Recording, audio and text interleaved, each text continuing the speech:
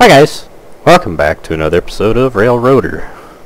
It has been a minute since I got to look at Railroader, mostly because I've been trashed busy. I haven't had time to really do any videos in general.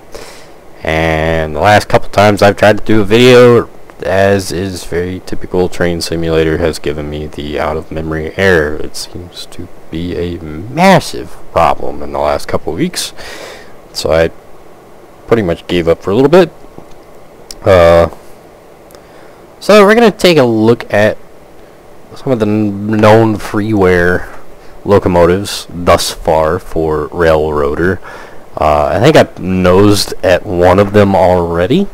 Uh, maybe, I don't know. It's been a while since I did a Railroader video, so I, am not dead certain if I have taken a look at it yet, but uh, to my knowledge, there are four freeware locomotives that have been done for Railroader thus far.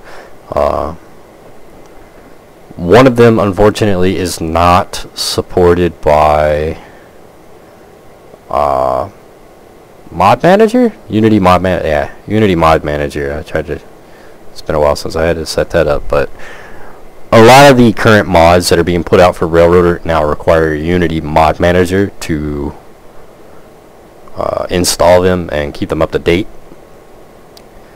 One of those locomotives is older than that requirement and as such it will not work with the Unity Mod Manager. You have to manually go through and download it and whatnot. I don't really feel like going through that hassle.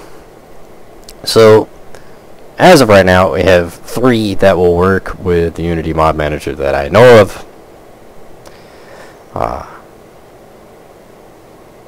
we're going to take a look at them. Well, we're currently taking a look at them. These are those three. So we have the good old-fashioned American Standard 440, the F7B, and the F7A. Pretty uh, self-explanatory. Kind of basic, not necessarily unique items but cool enough in their own right just because uh, they're kind of those items that one would have thought would have been placed in game to begin with.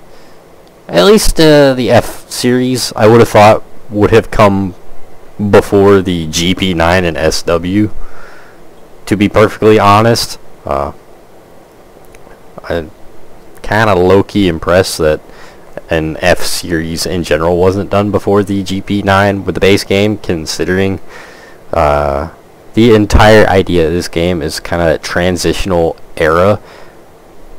F series diesel locomotives pretty much predominated the diesel scene during that time period.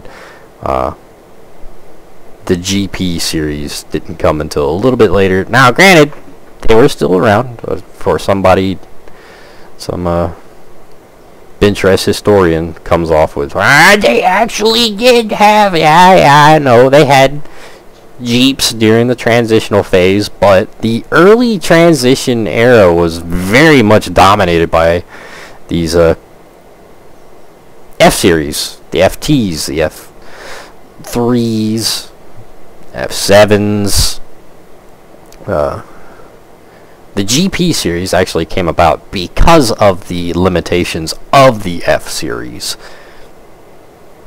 One of the very painfully obvious items being visibility is that way. That's it. Doesn't do you much good for uh, road switches and such. Kind of need to be able to see behind you. So, the GP, general purpose, was developed. Uh, anyway, I digress it still just kind of impressed me that an F-Series was not a kind of core diesel locomotive that I feel like should have come. Is it basic bitch? Absolutely. Yeah, I said bad word. I know. Whatever. Oh, dear God. Whatever will you do? I don't get paid for these videos, so I'm not missing anything.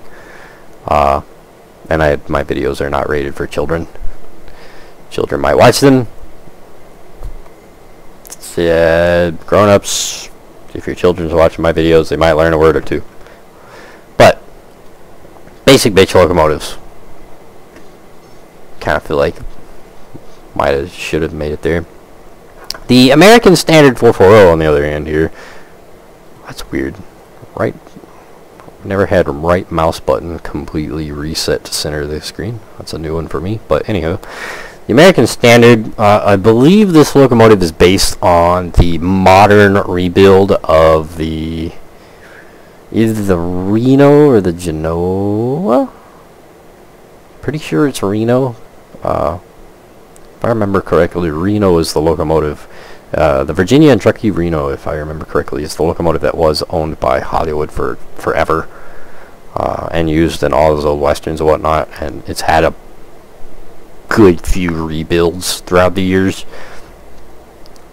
But it's I'm fairly certain that that is what this locomotive is based on, is one of those Virginia and Truckee 440s that has survived into today. Uh, with the very noticeably obvious upgrades such as air brakes, generator, electric lighting, knuckle couplers, uh, coal burning, things of that nature. Uh, I have tried to play around with it. I love the model. The chuff sounds are way, way, way off last time I played with it. Uh, to a laughable extent. But we do have a Baldwin Hooter that goes on you know, quite nicely in this locomotive, but very neat, very cool. The F7B, which, curious, can we get up in it? Oh, Unknown, probably not.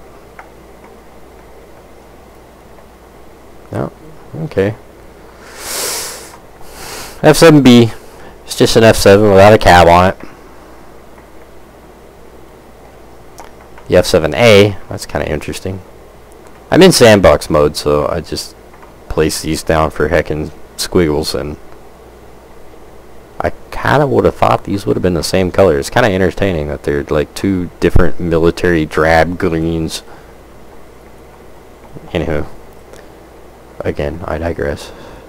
Yeah, there's a door we can open.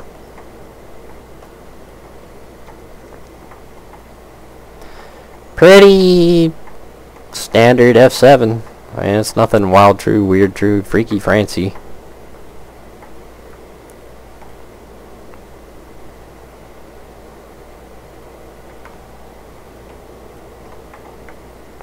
Yoink.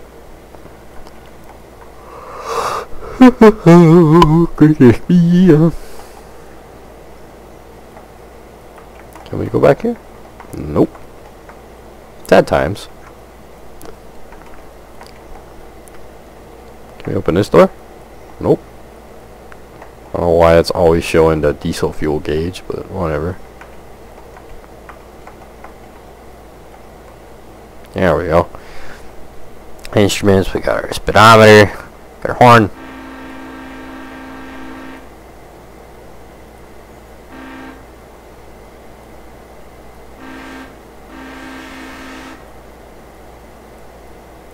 Question mark?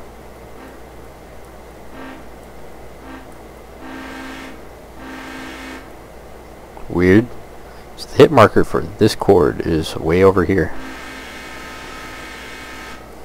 Anywho, uh, a horn, throttle, uh, we don't get that, reverse, independent, question mark, independent, independent. Okay. What is this? Unknown. Train brake. Train. Train brake? Hmm, interesting. So the hit markers are wild. Windows are, eh.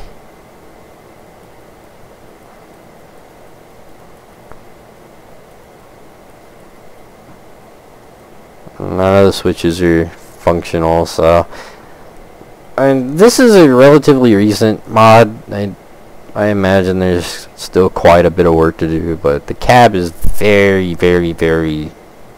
Eh, there's really not much going on. There's really not much to play with. Um, it is a basic F7 cab. For those of us that have been playing train sims for forever, like trains or railroad or railworks, uh, this cab is very familiar because uh, heaven forbid we get something new and unique for uh, the U.S. side of railworks. We get the same decade-old Kuju F7 that looks just like this. Nothing weird, nothing true, nothing fancy. But it's kind of entertaining that the uh, there's no gauge right here, no uh, no indicator. You'll sip dynamic brakes. Could this be?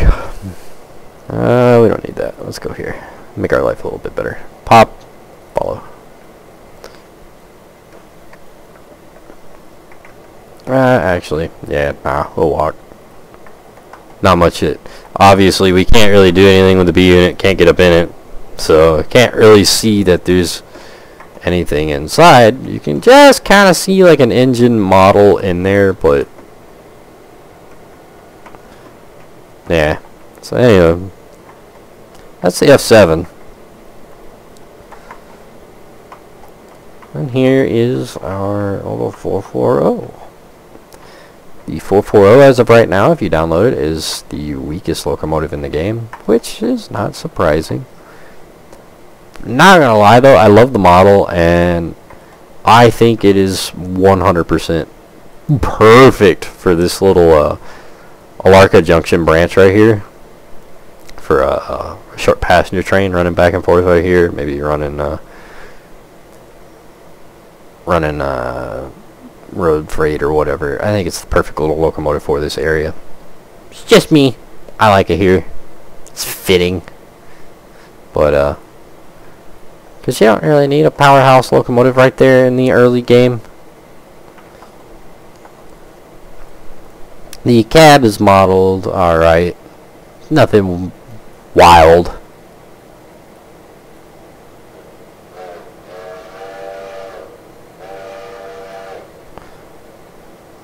Headlight, whistle, reverse, throttle, brake stand.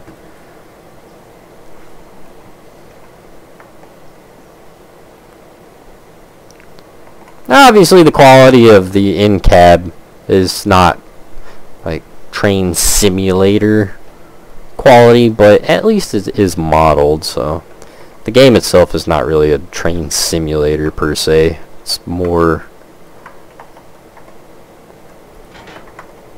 uh, what would one call it? More of a business simulator? Maybe? Maybe that's the way to call it? I don't know. Before we start, we'll come over here, right click, or uh, hold control, left kick. And you can, oh, what is it? What can you change on this locomotive? Customize. You can change the base color. Kind of nice. Which is the boiler jacket right here, a little We'll let you change that color. I think it's pretty cool. It's a nice addition. I kind of this is something that I low-key kind of wish that we could have done with most of the other base locomotives. I don't see a reason why we can't do it with the rest of the locomotives, considering that we can do it on this one. It just makes it, it makes things a little more different lets you customize each locomotive to be more, I don't know, wacky.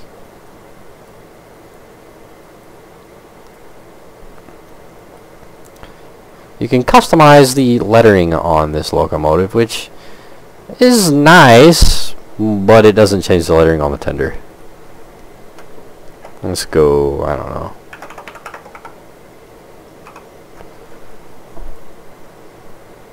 Eh, well. Kind of wish that that text would have added like a name or something right there under the cab, but that's okay. And obviously you can change the whistle.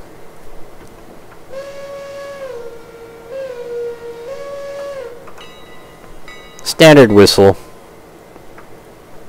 Let's see. Can't change. There it is. Can change. Base color just changes the coloring of question mark? Nothing. makes the lettering disappear. Hmm. Wild. Yes. Yes.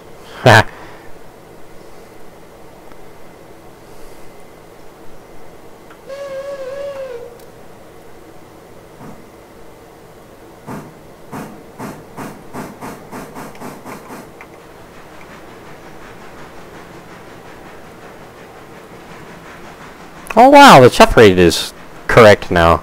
Weird. Last time I played it, it was way off. Oh, it's uh, it's the same tired old chuff sounds that literally every single model in this game has. But it's something, I guess. It does have animated inside valve gear.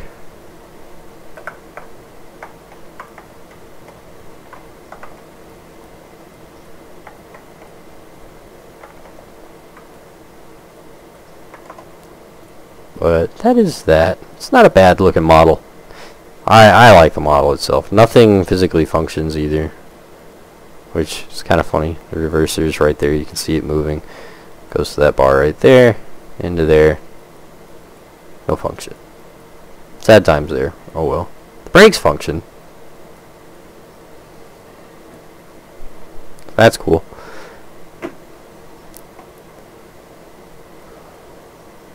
marker lights. That is an absolute crime that you can't stick some flags up here or down here.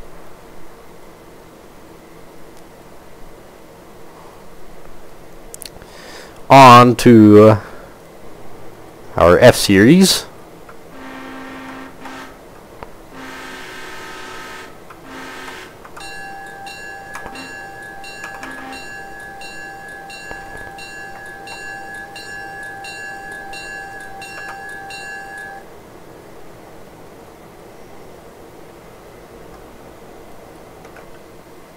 Oh, whoops.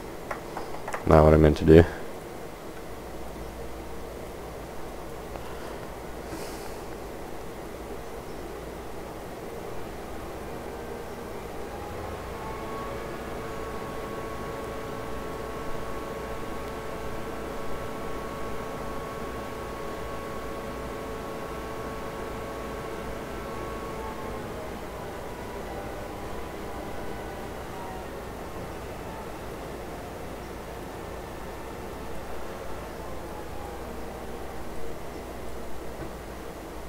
Doesn't really wind down. It's kind of... It just kind of cuts in and out. It's a little bit wacky, but I don't know. Oh well. I forgot to MU these two together. Mobby! I mean, they sound the same.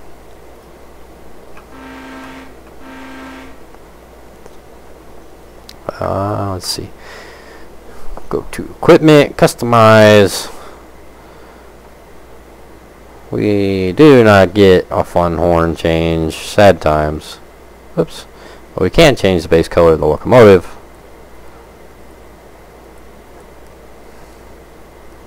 Texas State Railroad yellow or red and gold. That'd be fun. Uh, I'm a T&P guy. I got kind of a blue color. Get that unfortunate Jenks blue over here. From the Mopac. And you can change the coloring of the lettering. So, unfortunately, we can't really, uh, can't really put any logo designs or logos in Railroader right now. So, no Santa Fe war bonnets. No Pennsylvania stripes. Just a solid color with lettering. Uh, at least you can change color. That's something, but would be nice to be able to put some shapes or something on it. Unfortunately, no horn changes. Granted, I do not have any horn downloads. Uh, the one and only reason I use sandbox mode for is for this right here, so I can show off new mods or new locomotives and whatnot. Otherwise, I only play in career and in uh, career mode. I have not gotten to a point where I can afford and or need a diesel locomotive, so I haven't bothered with a sound mod for any of the diesels yet. So I know there's a couple of horn mods out there that will probably be useful for these in the near future. But for the time being, that is the stock game sounds on it.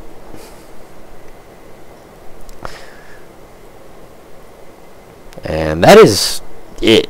That's really all that's new for Railroader that I think is worth going out of the way to show off. It's really all anybody watching videos is going to care about what new models have been added.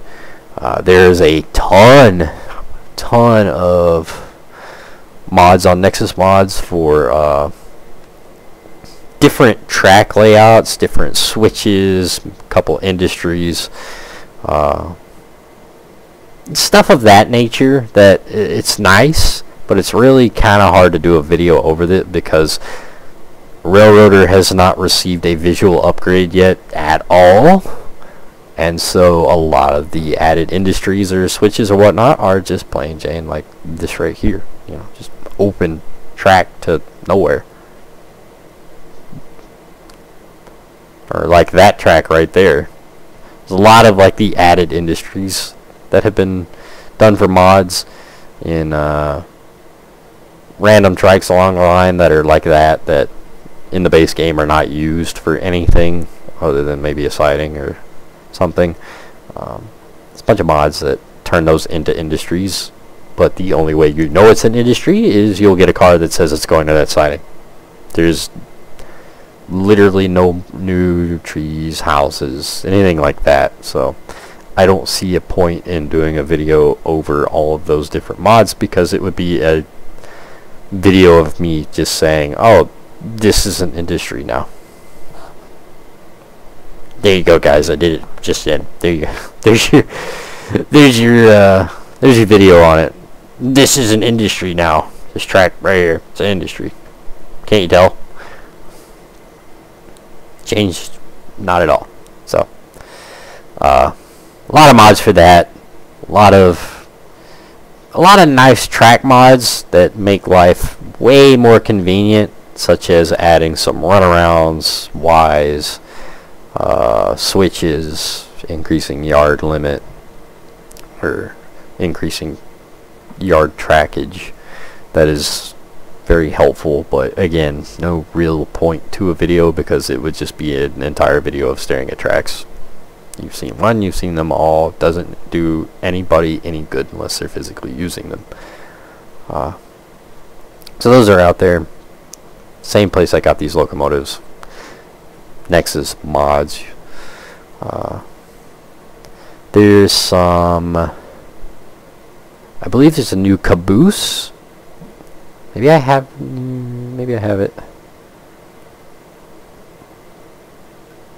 Early steel, or I believe it's this one. Let's add it. Boom, boom, boom. Get rid of that place. Yep.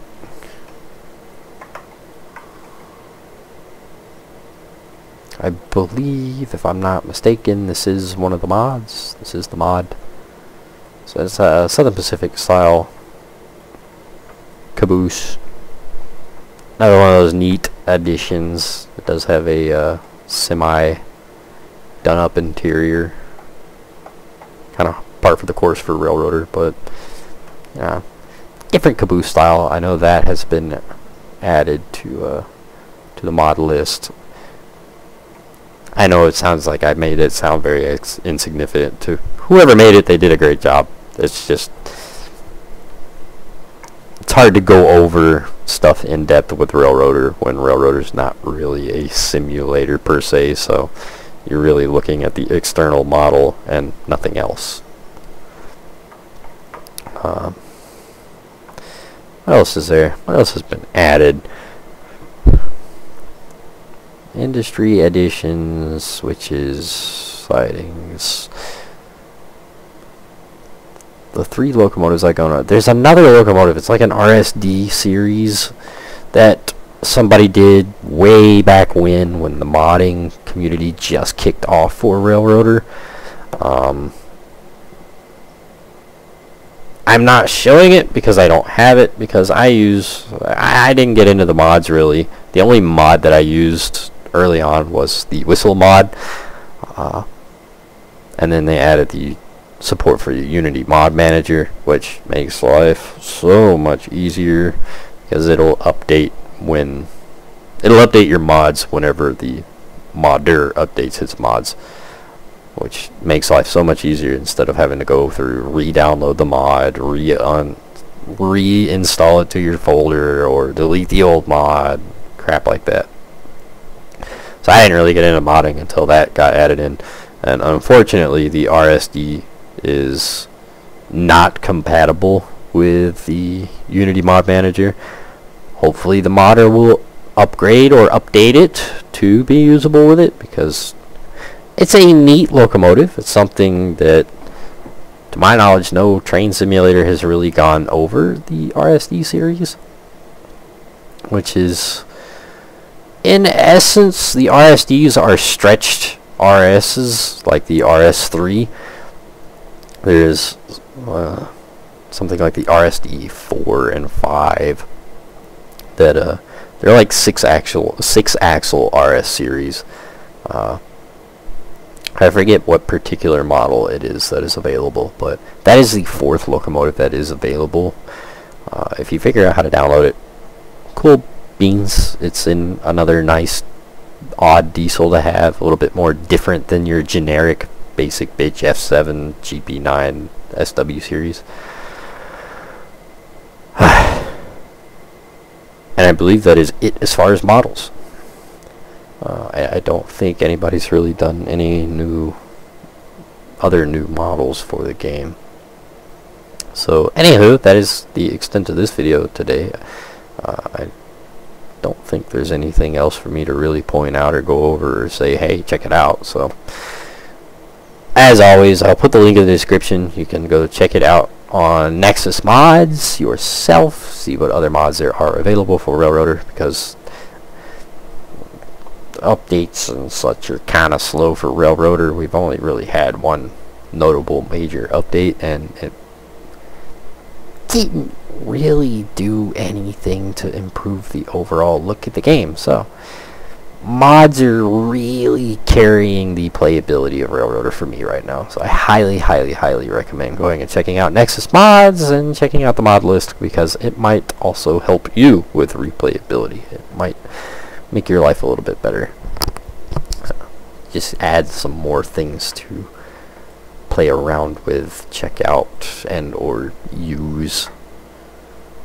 So, anywho, hope you guys enjoyed the video, and I will see you guys next time.